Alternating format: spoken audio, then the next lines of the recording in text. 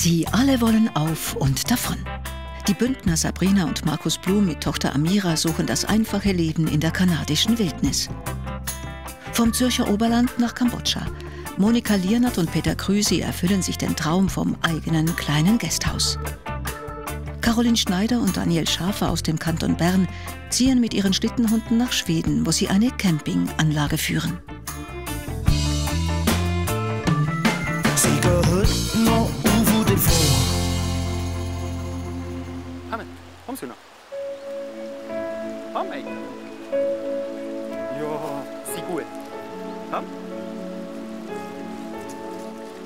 Sie ist ein wunderbares Land, die Schweiz.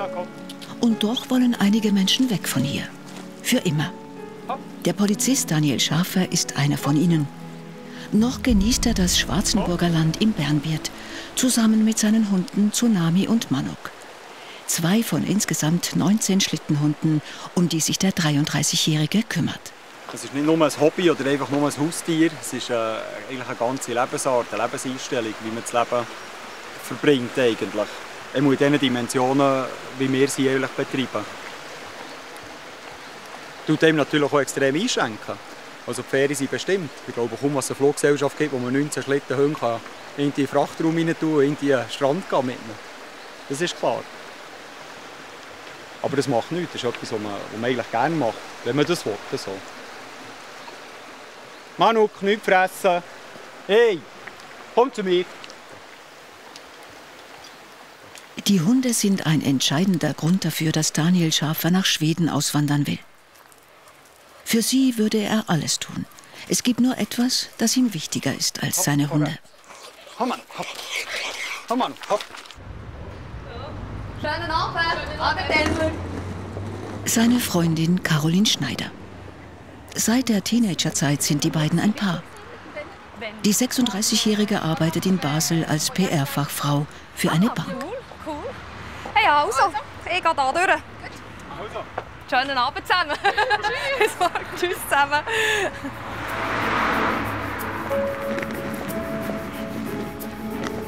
Für ihren Beruf nimmt die Tochter eines Schweizers und einer Philippinin jeden Tag einen vierstündigen Arbeitsweg in Kauf. Wegen der hohen beruflichen Belastung und da ihr Freund als Polizist unregelmäßig arbeitet, sehen sich die beiden häufig nur noch beim Zähneputzen. In Schweden wollen sie wieder mehr Zeit für sich haben. Wir können komplett bei Null anfangen und können unser Leben irgendwie noch mal komplett umkrempeln und das hoffentlich daraus machen, was wir uns vorstellen. Das ist eine riesige Chance. Auf die freue ich mich auch.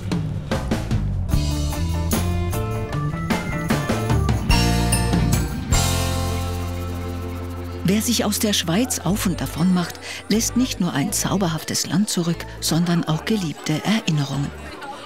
Auf dieser Alp oberhalb von Davos haben Sabrina und Markus Blum einst ihr Hochzeitsfest begangen. Nun feiern sie Abschied. Zusammen mit Tochter Amira werden sie nach Kanada auswandern. In eine abgeschiedene, karge Hütte, zwölf Autostunden entfernt vom nächsten Supermarkt. Wenn du so weit abgelegen bist von jenster Zivilisation, kennen die Bären den Geschmack des Menschen nicht. Also du musst schon dich so verhalten, dass du nicht mit Essenssachen ins Zelt hineingehst. Die Blums möchten dereinst Pferdetrekking-Touren anbieten. Die Werbebroschüre ist bereits gedruckt. Also weißt, es hat ein Basislager, das ist vorne drauf, und nachher ähm, hat äh, acht, etwa acht verschiedene Aussenlager, wo du nur kannst, äh, mit Ross oder mit dem Wasserflugzeug hingehen Du kannst wirklich ab vor dem, vor dem Hütchen äh, Forellen holen, schnell zum Mittag. Diese Hütten entdeckte die Familie Blum während ihrer letzten Kanada-Ferien. Damals schlossen sie Freundschaft mit dem Besitzer der Jagdhäuser. Ciao, Hitch. Ah, es ist lässig, sind alle da und es haben ja alle Freude für uns. Und ja, es ist schon speziell. Es sind schon ein paar Tränen geflossen. Werden sicher noch mehr sein. Das gehört auch dazu. Wenn man aufbricht, muss man auch etwas zurücklassen. Das ist ja so. Ja, die haben wir alle, ja, schon länger. Ja. So viele Türen auf. Ja. Ja, ja. Wird schon alles gehen. Wir werden euch alle so vermissen.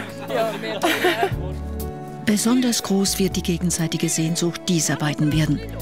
Der zweieinhalbjährigen Amira und ihrer Großmutter Christa Siegrist, der Mutter von Sabrina. Während einem Tag pro Woche war die Enkelin jeweils beim Grosi. Nun werden sie sich bald nicht mehr sehen können. Also das ist ihre Entscheidung. Haben wir niemand hat das Problem mit dem. Wir haben einfach das Problem, mit, dass sie geht, die Kleine, oder? Und wo sie eben hergehen. So, dort ist nichts, ist gar nichts, oder? Dort ist keine Gespendli. Ich weiss nicht, ob das gut oder nicht gut ist, keine, keine Ahnung. Also ich finde es nicht gut. Ja, wir gehen nachher gerade. Ist gut? Jetzt?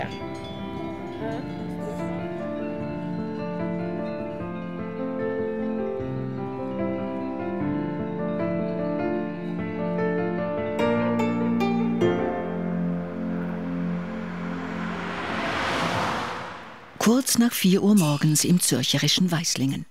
SBB-Zugbegleiter Peter Krüsi steht einer seiner letzten Arbeitstage bevor. Aber ganz, ganz früh aufstehen, jetzt noch etwa achtmal. Und dann haben wir es. Nachher stehen wir freiwillig auf, 6.30 Uhr, wenn die Sonne aufgeht. Gehen wir jetzt mal nach. Die Sonne wird für den 49-Jährigen dann in Kambodscha aufgehen.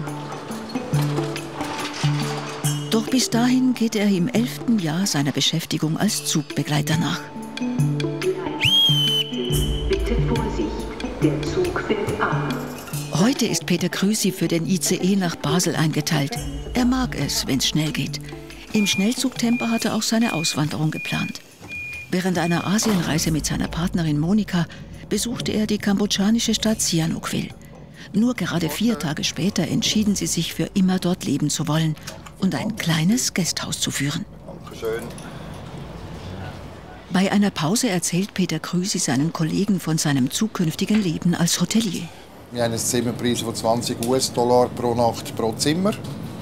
Und ich möchte das ja eigentlich trotzdem, dass wir das Gasthaus sind, eigentlich klein und fein und ähm, gemütlich auch und nicht im hohen Preissegment drin, dass man auch schlussendlich gleich noch einen gewissen Service kann bieten kann.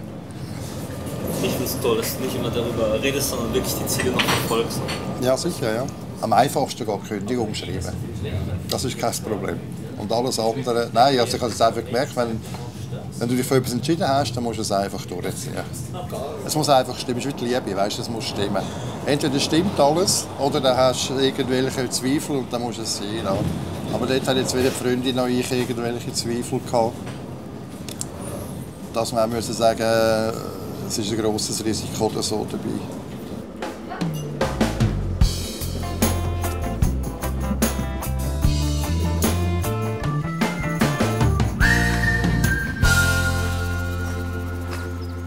Daniel Schafer ist nicht alleiniger Halter von 19 Schlittenhunden. Knapp die Hälfte gehört Rolf, einem seiner besten Freunde. Auch Rolf wird nach Schweden auswandern. Wegen der Hunde wohnt Daniel Schafer abgeschieden im Weiler Rossgraben bei Hinterfultigen. Zusammen mit seiner Freundin Caroline Schneider, die ihren langen Arbeitsweg für heute hinter sich gebracht hat. Feierabend bedeutet für sie, dass Döpies zügig gegen eine Arbeitshose tauschen. Denn draußen warten die Hunde und ihr Freund. Jetzt gehen wir auf Schweden. Gell, Beru? Ja. Ja. Jetzt gehen wir wieder ein ähnliche Sachen. Hey. Ja, dort ist ja kalt. Du musst jetzt Viertel einpacken. Hey. Das ist halt einfach schon so, oder? Letzten Winter da haben wir einen ganz schlechten Winter in diesem Sinn. Wir konnten gar nicht viel machen. Wir mussten fast den ganzen Winter nur mit dem Wägeli fahren. Und ich meine, es, ist, äh, es sind Schlittenhunde und nicht Wägelihunde in diesem Sinn. Das ist immer so ein bisschen, nicht was noch etwas ausmacht, der Hunde, sicher nicht. Wenn sie können säckeln, säckeln sein, das ist so. Aber äh, es stimmt einfach für mich nicht, nicht das Ganze. Es ist nicht, es ist nicht ihr wirkliches Daheim so. Oh Snoopy! Oh Snoopy! Oh, meine Snoopy-Bär! Die Tiere sind auch Caroline Schneiders große Leidenschaft. Vor zehn Jahren kauften sie und Daniel gemeinsam den ersten Schlittenhund. Damals dachten sie nie daran, dereinst ein kleines Rudel dieser Hunde zu besitzen. Hallo Snoopy! Hallo Snoopy! Hallo Snoopy! Geht's dir gut, Snoopy? Die haben so Freude. Und im Moment sehe ich so nicht Alltag, weil ich recht lange Stunden arbeite. Dann fressen sie mich fast, wenn ich dann endlich mal komme. Gell, Schätze? Gell, Schätze? Am Abend Lagebesprechung in Sachen Auswanderung. Rolf Geiser, guter Freund von Daniel und Besitzer der restlichen Hunde im Rossgraben, bereitet das Abendessen zu.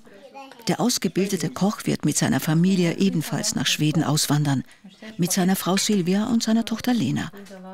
Gemeinsam träumen sie davon, eine kleine Anlage mit Ferienhäuschen und Restaurant zu führen. Irgendwo im Norden Schwedens. Bald werden sie dorthin reisen, auf der Suche nach einem neuen Zuhause. Nur Daniel Schafer muss vorerst hierbleiben, wegen der Hunde.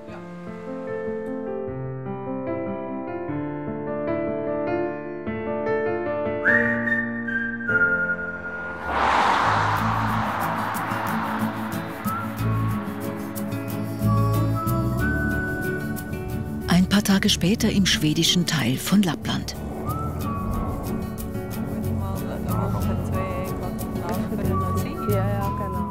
Eines wird Caroline Schneider und ihren Freunden schnell klar. Platz für Mensch und Tier gibt es hier genügend. Hey, die Weite. Ich will hier oben ein Haus bauen.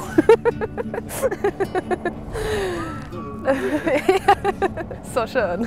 Nur wo genau in dieser weiten Landschaft liegt die neue Heimat für die Schlittenhunde und ihre Besitzer?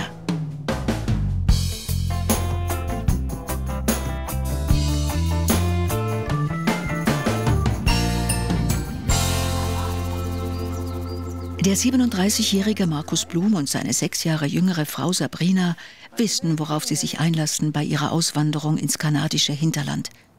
Letztes Jahr waren sie zwei Monate lang in der Wildnis unterwegs, hoch zu Ross, die kleine Amira auf dem Rücken. Sie begegneten keiner Menschenseele, übernachteten im Zelt und ernährten sich von Fisch und Schneehühnern. Diese Freiheit wollen sie wieder erleben obwohl sie sich bewusst sind, dass ihre zweieinhalbjährige Tochter in der Abgeschiedenheit keine Spielkameraden finden wird. Wenn Amira in das Kindergartenalter kommt, werden sich ihre Eltern gründlich überlegen, ob es nicht besser wäre, wieder in die Zivilisation zurückzukehren. Doch bis dahin ist noch Zeit. Wir wissen, dass es die richtige Entscheidung ist, zum Gehen. Und, die Kleine ist jetzt sicher in einem Alter, wo für sie wahrscheinlich noch einfacher ist jetzt auch. Also, jetzt hat sie natürlich auch langsam ihre Gespendle und, und ihre Kollegin oder Spiel, Spielkameradchen. Aber ich glaube, das ist, das ist jetzt noch ein Moment, wo, ja, wo wahrscheinlich einfacher ist als in einem Jahr, zwei. Ja, eigentlich ist davon schon schön zum Wohnen. Man hat alles so nah. Wir, die kein Auto haben, wir gehen zum Haus aus, wir sind gerade auf dieser Bahn oder können dort in den Wald. Oder bist so schnell in der Natur, musst nirgends einsteigen und auf fahren. Es ist immer ein lachendes und ein weinendes Auge, das ist klar. Oder? Wir suchen jetzt ein das, das einfache Leben, ohne Wasser, ohne Strom. Dass wir einfach so auch sein können. Und dass einfach nicht alles selbstverständlich ist. Manche Menschen sagen, das wahre Glück liege im einfachen Leben. Die Familie Blum macht sich auf, dieses Glück zu finden. Frohgemut und ohne Sorgen. Ja, manchmal springt er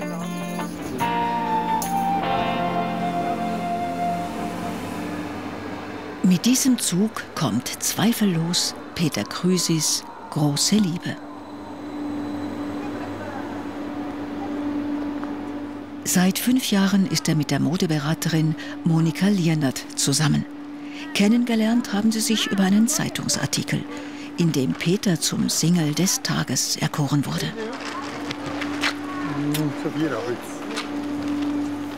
Peter Krüsi hat zwei erwachsene Kinder aus erster Ehe.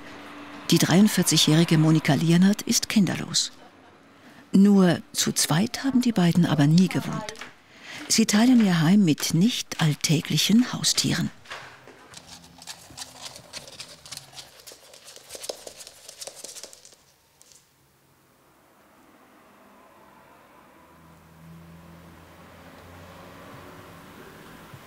Die sind mir wirklich so ans Herz gewachsen. Weil, äh, auch wenn sie jetzt draußen sind und du bist irgendwie ins Büro hintergelaufen und hast die Tür nicht zugemacht, die sind danach gelaufen wie, wie Hündchen schauen, was du machst. Oder bist in die Küche raus, sind so, ist keine fünf Minuten gegangen, sind sie schauen, was du machst. Und ja, also, die tun mir schon am meisten weh. Ja, ja. Das sind, glaube ich, die einzigen, die werden fehlen nachher.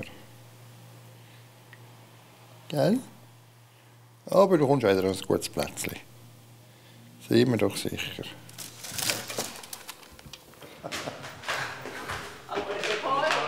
Eine Schlange und zwei Kaiserskorpione haben sie schon weggegeben. Nun kommt der Tierhändler und holt die Echsen und die Vogelspinne. Ja, mit der Jagdkeit auf dem da, weißt du? Ja, Ja, ja, gut, ja. Das ist nicht so ein sehr stabiles Ding.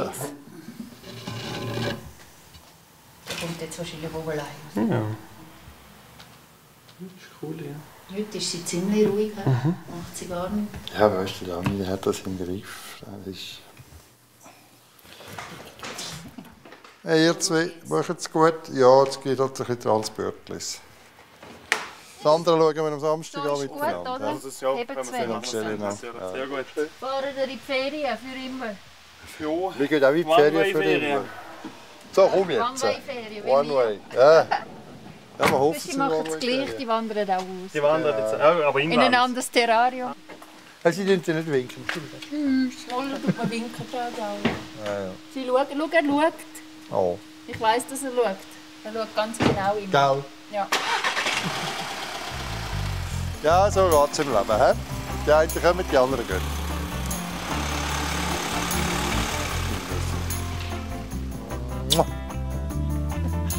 Gell?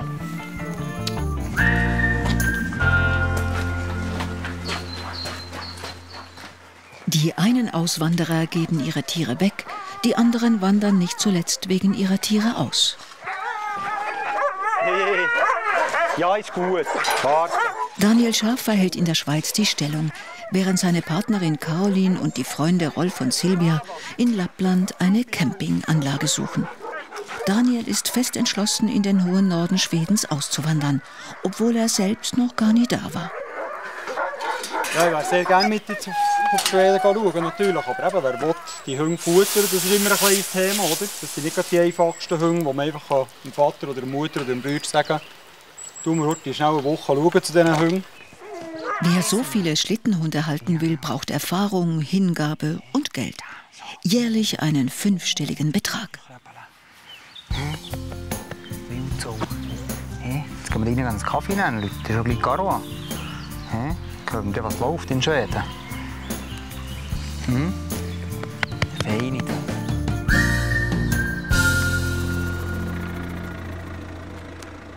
In Schweden treffen Caroline, Rolf und Silvia beim ersten Objekt ein. Die Campinganlage Rennwallen steht zum Verkauf. Ja, ja. Vielleicht das Tischchen nicht gerade mitnehmen. So. Bisher haben sie die riesige Anlage erst im Internet gesehen. Mit fast einer Million Franken ist sie viel zu teuer ausgeschrieben. Aber vielleicht lässt sich der Preis ja verhandeln. Caroline Schneider. Die eigentliche Besichtigung ist erst morgen, aber die Auswanderer dürfen sich schon einmal umsehen. Okay, thank you so much. See you tomorrow in the morning. Thank you. Goodbye. Sehr cool. Nein, ist wirklich schön. Ah, es gibt etwas zu mähen. Ja, ja. Röfen, Winter, Schneeraum. Ja. Morgen um 5 Uhr.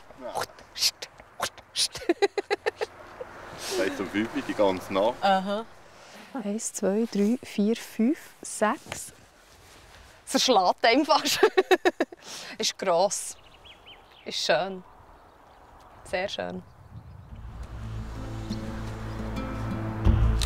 Genauer betrachtet trübt sich der erste positive Eindruck jedoch schnell. Ja, die hat das alles. Und auch ein bisschen hüpfen gerade das Loch ab, Mensch. Blöd, haben sie es eigentlich gefunden? Ja. Ja.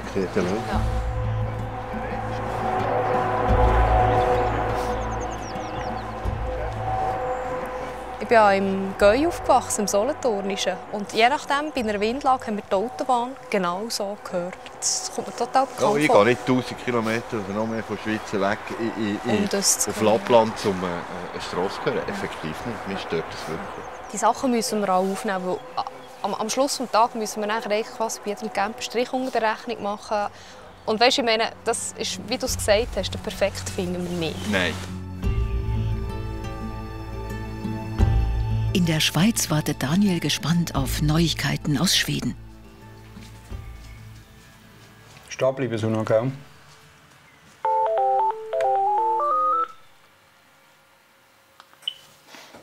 Ja. Hallo. Hallo. Sali Kleine. Hoi, Röfe. Und äh, wie habt ihr's? Lappland gefällt mir sehr gut. Das ist wirklich so wie Rossgraben hoch 10. Hure schön. Viele Bäume. Baum, Baum, Baum, Baum, Baum. Wenn du fährst, Baum. Und dann noch ein bisschen Baum. Aber super. Du bist hallo. Nein, ähm, tipptopp. Ähm, ja. Rennwallen haben wir jetzt fangen vorsondiert für uns. Wir haben ja den Termin erst morgen. Ja, wir haben ein bisschen gemischte Gefühle. Die Häuschen zum Starten kannst du sie brauchen, aber unter der Voraussetzung, dass der Preis so tief ist, dass es zulässt, dass wir genug Budget haben, dass wir den können von Anfang an wenn renovieren die das neun Monate lang zu hat und Ja. niemand wirklich dazu schaut. Aber ich habe lieber so eine Nachricht, als dass es heisst, äh, sei perfekt, und Ja, ja. sieht aus wie neu und weiss nicht was. Wegen dem gar nicht der Hang für irgendetwas im Preis zurück. Genau. Genau. Das ist ja so. Ja. Ja, mal gut. Ich sehe, ihr habt das im Griff. Ja, Ja, es geht. Du fährst schon ein bisschen. Also, alle meine Schätze. Ciao, Schatz. Habst du dir Sorge, gell? gut. Schlaf gut, gibst den Hunden Knuddel. Love you. Tschüss. Dir auch. Ciao, ciao. Tschüss. Während Daniel noch nicht weiß, wohin er genau auswandert, macht sich Familie Blum bereit für den Abflug.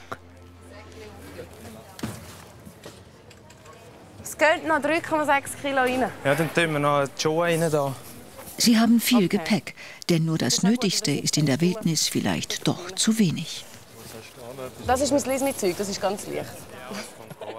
Zum Abschied sind neben Amiras Großmutter nur die engsten Familienangehörigen erschienen. Ja, ja, Mann. Sicher.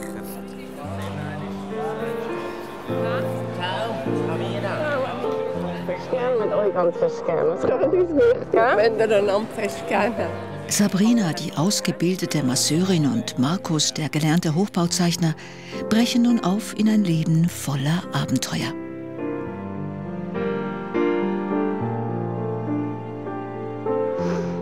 Hätte ich fest gerne, gell?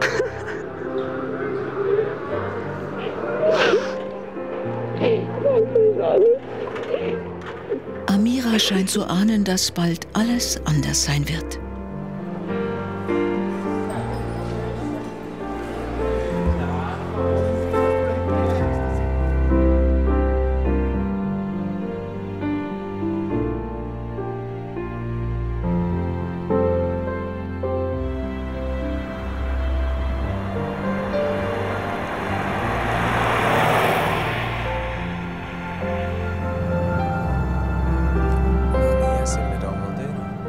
Zwei langen Flügen ist die Familie Blum in Kanada angekommen. Nun liegen noch zwölf Stunden Autofahrt vor ihnen. Bis zu ihrem Ziel, ein paar Hütten am abgelegenen Black Lake. Bald sind sie die Einzigen auf der Straße.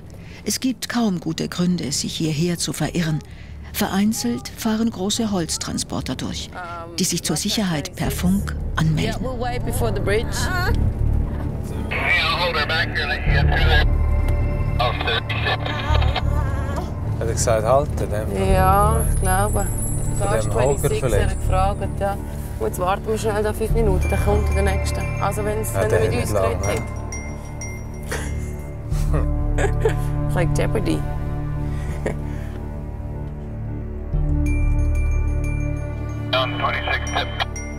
Ja, siehst du, schau jetzt, ja. Siehst du, da kommen wir mit einem riesen Karacho. Und jetzt Ladung drauf. Hey. Mhm. Schau mal. Okay. Ha, dann haben wir es doch Das richtig Gefühl, gemacht. ich war fast am Leiden gesehen da. Hey.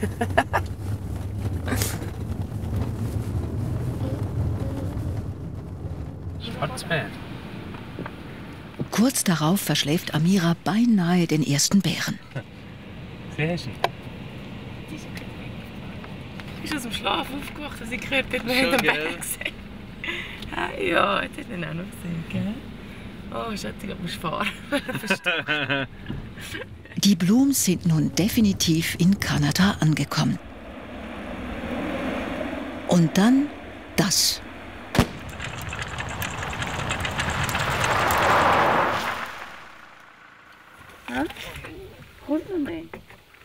Eine Panne. Der rechte Hinterreifen ist platt. Markus macht sich an die Arbeit.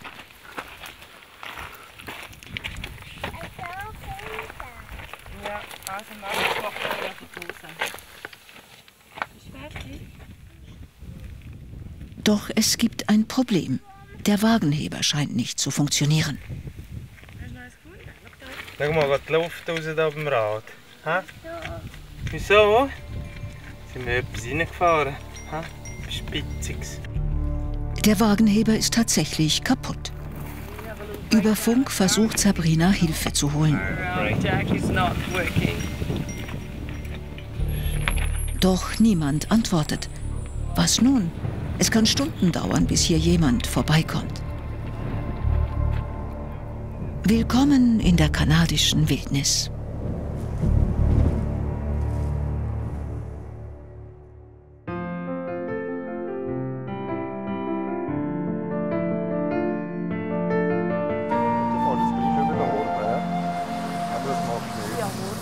Die Reise in ein neues Leben beginnt für Monika Liernert und Peter Krüse in einem Bus der Zürcher Verkehrsbetriebe. Alter von Schönheit. Grüezi, Ilnauer halt einfach. Retourbillets werden ab sofort nicht mehr gelöst. Danke, gleichfalls. Monika und Peter nehmen kaum etwas mit. Keine Möbel, keine Bücher, keinen Fernseher. Einen Container nach Kambodscha zu verschiffen, hätte knapp 5000 Franken gekostet. Zu viel Geld für die beiden. Äh, ja. Während der Fahrt erinnert sich Monika an jenen Moment zurück, an dem sie zum ersten Mal vom Auswandern träumte. Es war nach einem Jahr als Au-pair-Mädchen im Welschland. Eigentlich wäre ich gerne in Welschland geblieben, weil mir hat alles gefallen, die Sprache, alles, die Leute, alles. Und dort habe ich gedacht, von dort habe ich gedacht, ja, irgendwann wandere ich aus. Irgendwann gehe ich weg von der Schweiz. Und jetzt ist es soweit. Jetzt gehen wir für immer, forever. Ja, wir haben es aber vor, ja. Forever. Äh. Adieu, Heimat.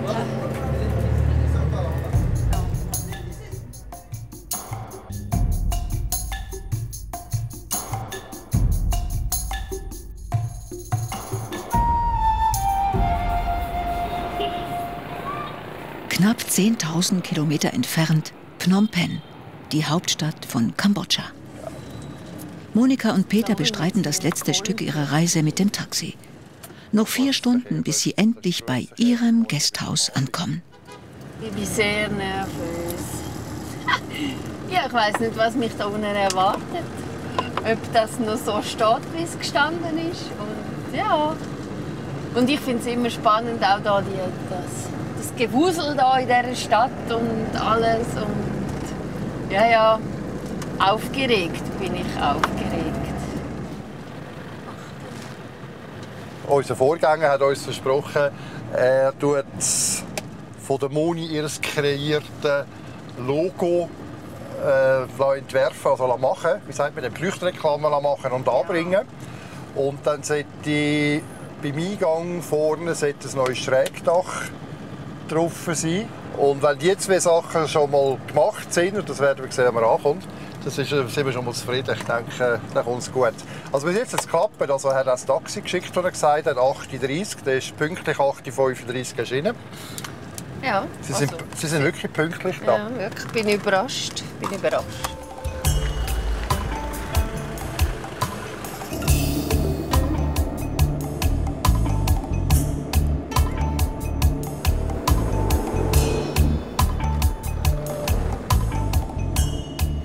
Endlich die goldenen Löwen, das Wahrzeichen der Stadt Sihanoukville. Ja, meine neue Heimat ist das. Und ich finde mich noch gar nicht so recht. ja, das müssen wir alles noch ganz genau erkunden, da, wo was ist. Den Weg zum Gasthaus kennen sie zum Glück noch. Ja, and uh, left side. Ist und die Sonne scheint auch schon fast. Ja, fast. Erst Glück. Ja, it's just here. Perfect. Yeah, here. This, this. Ist das das Dach, hat, das Dach hat er nicht gemacht. He? Äh, hat er wieder versagt. Ja, kein Komm, steig aus, Schatzi. Ja, jetzt. Das ist keine Limousine, musst selber aussteigen. So. Ah, ist das schön warm. Ja, Ah, ja. Polly. So muss es sein. Ah, Wir gehen mal schauen. Hä? Wir gehen mal schauen. Schau, das Meer dort unten.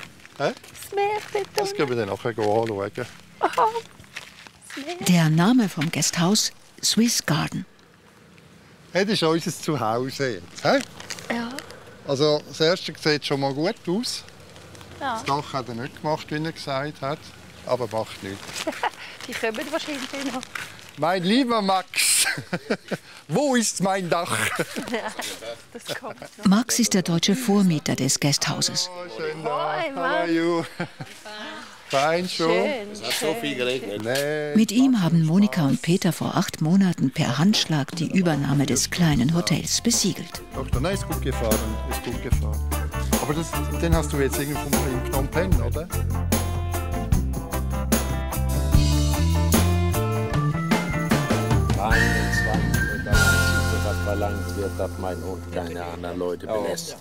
Auf der Campinganlage Rennwallen, die zum Verkauf steht, sind Fachleute eingetroffen, die bei der Besichtigung der Häuser behilflich sein sollen. Das Ganze wird eine kurze Angelegenheit. Der hinzugezogene Experte für die Bausubstanz ist nicht eben begeistert. Und der deutsch sprechende Immobilienmakler versucht gar nicht erst, diese Anlage zu verkaufen. Also wir sind uns alle einig. Ja. Jetzt schon. Das, das, wir haben gesagt, es ist Renovierungsobjekt ne, und das ist ein Renovierungsobjekt. Ja. Mhm. Ne. Also rein theoretisch bleibt nur ein Ab Abriss, Ja. Neubau. Ja. Mhm. Ja. Grosser Bagger, Ja. Rausreißen, neu. neu. Das ist das Einzigste. Ich sollte eigentlich für diese Anlage reden, aber ich kann es nicht. Der Gedanke über eine Million. Nein, das wäre Leute bescheißen. Mhm. Ganz ehrlich, und das mache ich nicht. Sagen wir jetzt ja. Ich glaube nicht.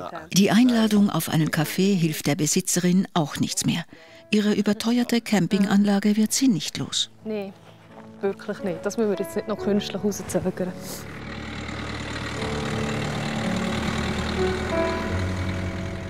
Enttäuscht fahren die drei Auswanderer weg. Ohne neues Heim für sie und ihre 19 Schlittenhunde.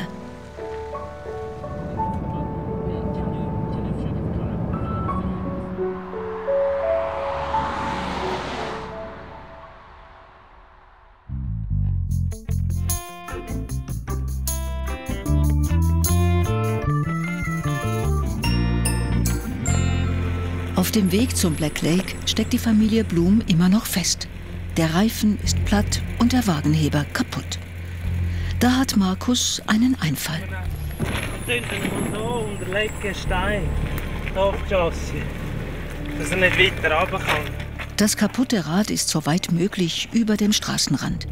Steine unter dem Autorahmen stützen das Auto ab. So kann Markus das Rad ausbuddeln. Darauf muss man erst einmal kommen.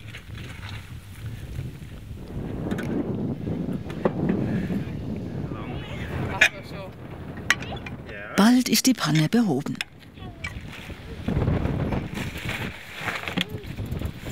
Was besser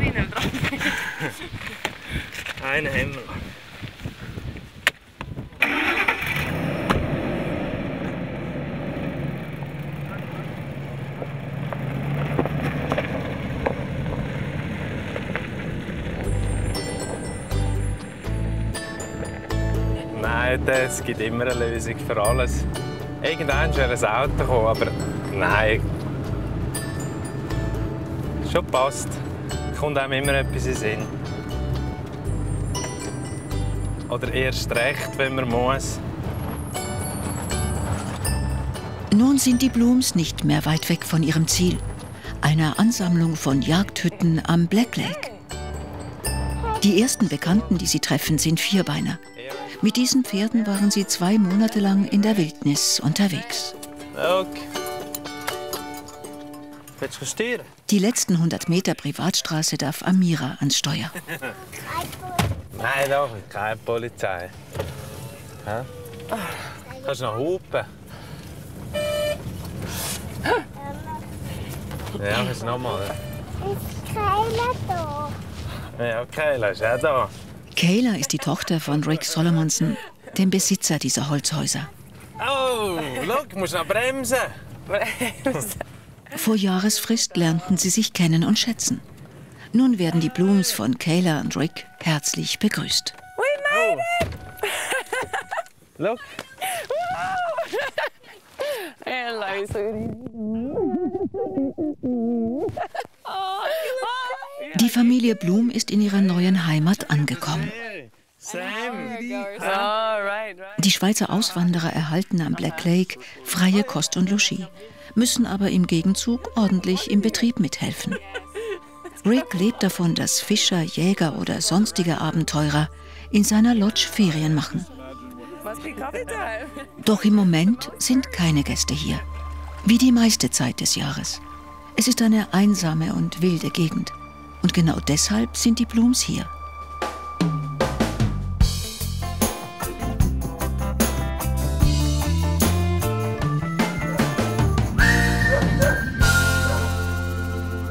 Die schwedischen Auswanderer besichtigen die nächste Campinganlage. Caroline Schneider gefällt sie auf Anhieb. Sehr hübsch. Die Anlage liegt direkt an einem See und heißt Sanche Garden. Die Häuschen haben schöne Grösse. Muss mal schauen, es hat wirklich einige schön grosse. Ja, ja. Ein Bett und ein Tischchen und gut. Das ist wirklich ganz hübsch. 18 kleine Hütten. Stügas, wie sie in Schweden heißen, sind es insgesamt. Dazu ein großes Restaurant. Und der Preis ist attraktiv. Rund 300.000 Franken. Das Nachbargrundstück könnte man für die Haltung der Schlittenhunde dazu kaufen, wie der Makler sagt. Kein besonderes Grundstück oder sowas. Mhm. Ne, hier ist der Preis, wie gesagt, verhandlungsbar. Klar. Dann hast du ja, wie gesagt, hier auch wunderbare Genau, Aussicht mit genau. dem See vor der Tür. Genau. Hier vom Balkon aus sagt man noch über zu den Hunden. Hinter Sancho Garden kann der Makler stehen. Und auch der Bauexperte ist zufrieden. Nur einer weiß noch nicht so recht. Rolf Geiser, der als ausgebildeter Koch das Restaurant führen soll. Tut mal ein bisschen. Ich will von euch mal ein bisschen Emotionen spüren. Ich halte mich die ganze Zeit zurück. Machst du wieder meine erste Emotion von den Wallen? Ja, ja, schon. Ich muss noch einen Moment warten. Das ist irgendwie für mich auch schwierig, weil ihr kennt mich. Ich bin eigentlich jemand, der, der die ganze Zeit wow und super und weh und Zeug und Sachen, aber ich halte mich im Moment extrem zurück, weil ich auch nicht weiss, wie es euch geht. Also bis jetzt ist perfekt. Ich war beim Restaurant, Küche, Deine Grösse, oder? Ist perfekt. baue ich um. Ja, das ist selber. kein Thema. Kannst rein, kochen. Ist deine Kein Grösse, Thema. oder? Ja, Kein Thema. genial. Kein Thema. Alles Dann sind auch äh, äh, Räume im Keller. Ja. Als der Makler die Auswanderer in den Keller führt, spürt Caroline, dass sie ihrem Traum ganz nahe ist. Oder sogar ein bisschen weiter. In diesem Moment stellt sie die Weichen in ihrem Leben neu. Da ist wirklich viel Potenzial. Ja. Und wir parkieren wirklich alles, was wir haben, da rein, in diesen Traum. Und wir brechen wirklich in der Schweiz. Ich meine, ich habe einen sehr guten Job, bin in einer sehr guten Position. Mein Partner ist Polizist. Der Ja. hat auch ganz toll, ähm, tollen Job, arbeitet auf einer Fachstelle. Wir brechen wirklich mit allem und wenden uns einer ganz neuen Schiene zu. Und das muss stimmen, das muss vom Das Gefühl muss her stimmen. Das stimmen. muss stimmen von Anfang an. Genau, genau. Zuletzt werden die Hütten von innen begutachtet. Langsam schwindet auch bei Rolf die Skepsis. Und der Tatendrang steigt. Das ist ja so. Das ist ja gut, dass wir noch etwas machen. Mhm. Es hat bei Rolf etwas länger gedauert, aber nun sind die Emotionen da. Ich bin wirklich hell begeistert. Also es ist, ich höre keine Straße. Ja, der Blick, das ist einfach... Scheint äh, überall, alles, was man müsste machen, können wir selber machen. Da müssen wir nicht eine Baubude haben, vielleicht danach Sachen, aber das hier, jede einzelne Stüge können wir mit eigenen Händen Zweig machen, dass die einfach sensationell sind. Mehr, näher am See kann man einfach kann man nicht wohnen, das ist nicht möglich.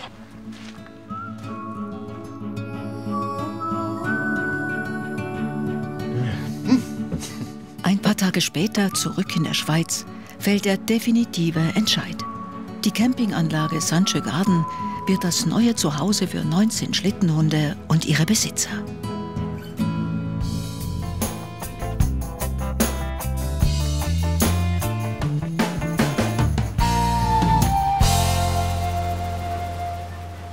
Am Ende dieses Strandes, 300 Meter zurückversetzt, liegt das neue Zuhause von Monika Liernert und Peter Krüsi. Das Gasthaus Swiss Garden. Diese bissigen Kreaturen sind die neuen Haustiere der Schweizer Auswanderer. Ein Erbe vom deutschen Vormieter Max. Wer kann in der Schweiz schon sagen, wir haben Krokodil im Garten? Hat wahrscheinlich ein Problem. Ja. So, wenn wir noch den Also. Rest auspacken. Ja, komm. Wir müssen noch den Rest auspacken. Ich komme helfen. Momentan sind die beiden nur Gäste in ihrem eigenen Gasthaus. Denn der Mietvertrag ist noch nicht unterschrieben. 20.000 Dollar Übernahmegebühr haben sie mit Max ausgehandelt. Ein stattlicher Betrag für Monika und Peter, die für ihren Traum vom eigenen Gasthaus ihre Pensionskasse aufgelöst haben. Welches Zimmer hast du für uns reserviert? Jedes große. Da hinten? Ja, ja. Das erste Mal. Und da brauchen wir mal irgendwas Flüssiges. Ja. Ah, super. Ja, genau. Also habt ihr Platz fürs Gepäck erst einmal. Und ich habe gedacht, ihr habt viel. Ja, wir haben schon noch recht. Ja, so, ja. Ist gut, hä? Super. Schmeckt es gut hier rein? Ja, es ist gut, ja. Schauen. Mal, das ist so gut. Alles tipptopp. Wunderbar. Innerhalb von nur vier Tagen haben Monika und Peter damals entschieden, das Gasthaus zu übernehmen. Länger kennen sie auch Max nicht, der immer noch der aktuelle Chef im Haus ist. Und der irgendwie nervös zu sein scheint. Ähm, in der eigenen Zimmer sind Jetzt machen wir mal aus, bitte. ja. Was hat Max bloß zu verbergen?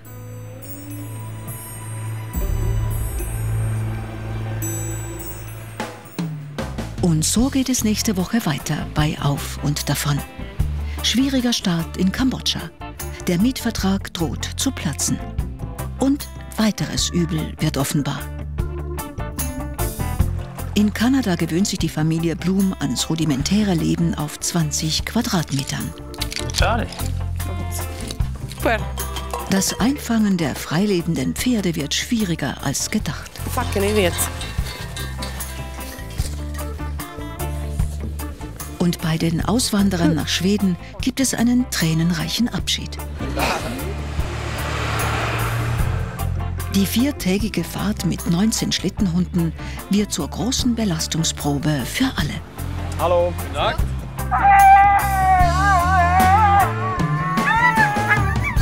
Sie steigen ein, fliegen, fliegen mit den Vögeln fort, kommen nicht mehr heim. Und sie lassen hier alles zurück, auf der Suche für ein neues Daheim. Sie gehen